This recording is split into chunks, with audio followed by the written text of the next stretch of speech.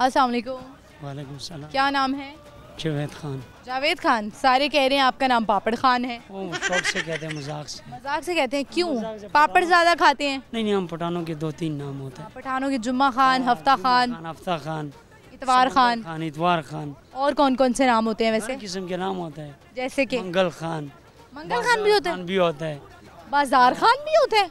और? खान नहीं होता। है मुशरी खान नहीं होता। है और कौन से ऐसे डिफरेंट नाम है? ज़रा बताएँ जो पठान रखते हैं।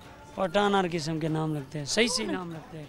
गलत नाम नहीं लगते गलत नाम नहीं। तो फिर आपका नाम जावेद खान रख दिया। और ये आपको पापड़ क्यों कहते हैं? पहले बताएँ। सारे आपके से कलीग्स कहते हैं? मैंने आपको बताया। मैं जब छोटा बुरा मनाते हैं? नहीं। बुरा नहीं मनाते। ठीक है। पापड़ बहुत ज़्यादा खाता पठान बड़े गुस्से वाले होते हैं। कभी गुस्सा नहीं किया? हम गुस्सा नहीं करते हैं। अच्छा गुस्सा नहीं करते हैं। ठीक है। तो लिबर्टी में आप काम करते हैं। काम करते हैं। है। कभी ऐसा हुआ है? कभी किसी कस्टमर पर गुस्सा आ गया हो? नहीं। कभी नहीं आया? नहीं करते करते ही नहीं है गुस्सा। मेहमान नवाज़ भी होते हैं। अगर कोई चीज़ ले ले या ना ले ले कोई ज़ोर ज़बरदस्ती तो नहीं है ना? अच्छा, ज़बरदस्ती नहीं है तो कोई अगर बार्गेनिंग करना चाहिए तो हक है ना? बार्गेनिंग तो हम करते हैं उसके साथ। उसके साथ करते हैं ठीक है। हमारा आज का सवाल है मुझे बताएँ वो कौन सा ऐसा शावर है जिसमें पानी नहीं आता? ये मेरी इल्म में नहीं है क्या सुनाना चाहेंगे? गाना गुनगुनाएँगे? गाना माना हम नहीं गाते। गाना माना नहीं गाना गाना पड़ेगा आपको? नहीं गाते। पश्तों में गा लें?